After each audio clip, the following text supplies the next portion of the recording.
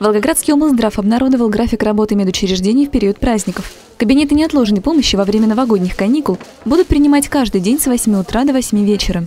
Также ежедневно будут работать центры помощи пациентам с ковидом и онкологическими заболеваниями, а также станции переливания крови.